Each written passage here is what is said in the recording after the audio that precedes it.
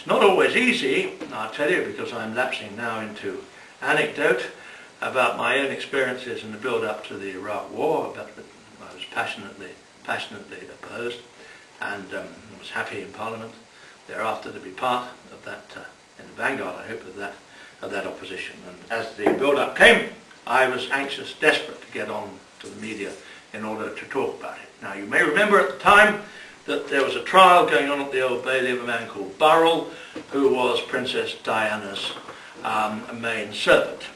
And he was charged with stealing a large quantity, posthumously, stealing a large quantity, posthumously for her, not Burrell, stealing, stealing a large quantity of her possessions which were found in Burrell's garage.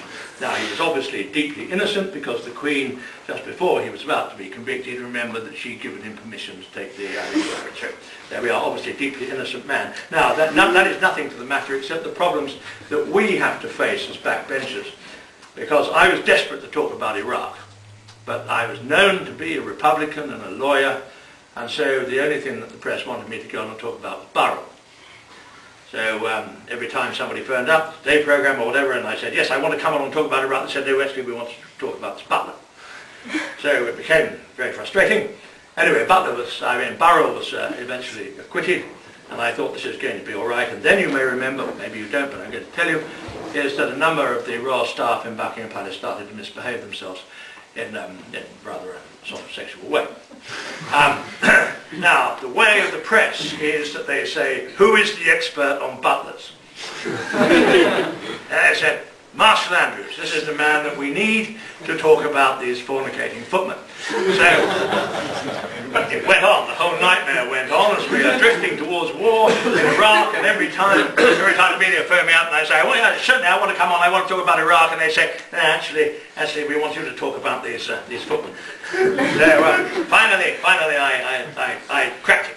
And um, on 5 Live, I went on exactly the same. They said they wanted me to do so. And when I was interviewed, I said, before you say anything else, I want to say to you this, that um, non-consensual male intercourse among royal valets is almost unknown in Baghdad. but that is no reason to suppose that they have weapons of mass destruction. So it's difficult. It's difficult for us. It's a true story. But can I can I just finish? But the other thing is, is what we must do, more than anything else, as backbench members of Parliament, we must take seriously, seriously the power that we have, because it's not it's not used. We have very substantial power to hold ministers to account, and we must revisit it and re and re-burnish it. And if I can finish, if I may, by telling you a story which is instructive story about backbench life. Um, it's a story which reflects very well on me and, um, and very badly on the Home Secretary at the time, Jack Straw, which is of course why I tell you this, uh, this particular story. And um, let me say this, uh, this is a closed meeting, so you are, you are bound by Chatham House rules. So if you want to repeat this story outside this room, you will need my express consent in order to do so, and may I say straight away, you have it. the, uh, it, uh, it began with the first assault that was mounted by this government on jury trial and the right to elect jury trial. And it came to, it was Mode of Trial Bill 1, which was to effectively end the right to elect trial by jury. It was given to magistrates to decide whether you had trial by jury or not. And um, so it was a serious constitutional bill. But the government built into the bill a measure which said magistrates should take into account the reputation of the person who was in front of them in deciding whether they should have jury trial or not. Typically, if I may say so, New Labour measure. But that was what they built into it, and it was designed specifically in order to deal with the case of the elderly lady who absent-mindedly walks out of W.H. Smith with a copy of Martin Amis without paying for it, or indeed with Martin Amis himself. And that was, that was, uh, that was what it was designed to do. Well, of course, those of us who were totally opposed to this assault on civil liberties immediately said this is creating two-tier justice. Justice for those that have a reputation and justice for those that do not.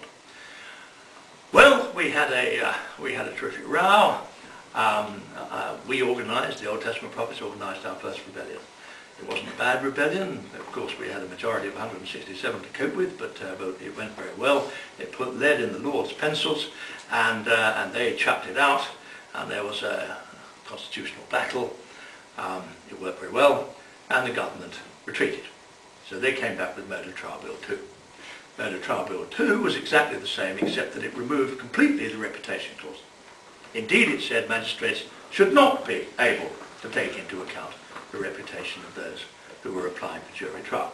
Whereupon, of course, those who were opposed to the measure said, what about the old lady who walks out of W.H. Smith and uh, with a copy of Martin Amis? So the government cried foul, we had another rebellion, um, but at the beginning of it, the Home Secretary said this to the House of Commons. He said, this has the support of the Lord Chief Justice and various other people, like the police and Woodward. But, so I thought at the time, I thought, I wonder if it does have the support of the Lord Chief Justice. So I wrote to the Lord Chief Justice and said, can I come and see you? And he said, yeah. So I went to see him. And um, I said, um, I'm interested in this assertion you have as your support. And he said, um, he said, well, I can't tell you. Now, I may not have been politically up speed, but even I can see where something is coming. So I said, uh, why not? And he said, well, I've had correspondence with the Home Secretary, and I regard it as confidential. So I said, well, what if the Home Secretary says I can see it? He said, that'd be fine.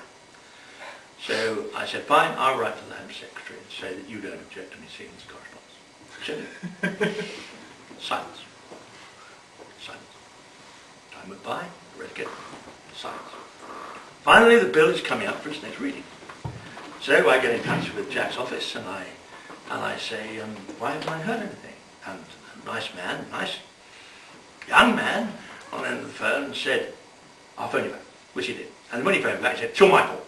Absolutely all my fault. Absolutely. I can't tell you how sorry I am. That's in my power. Bearing nothing to do with the Home Secretary at all. Um, I will talk to the Home Secretary. The bill's coming out the following Wednesday. I'll talk to the Home Secretary. And he'll talk to the Lord Chief Justice over the weekend. And then we'll let you have the documents. Silence. Monday, no documents. I phone up Jack's office, say, can I have... Ah, yes, yes. No, he's spoken to the Lord Chief Justice. Um, we'll, we'll let you have the documents. Tuesday, the letters arrived. And what it showed was that three days before Jack Straw had said to the House of Commons, this has the support of the Lord Chief Justice, not unimportant in the circumstances, the Lord Chief Justice had written to him and said, I have grave reservations about this legislation, which I think would do substantial injustice. So we went to the press. And uh, I gave it to one tabloid, one broadsheet. They both said, this is dynamic, dynamite. Um, we will run it on the front page. And I said, I'm very sorry to say this, the Labour government. I said, fine.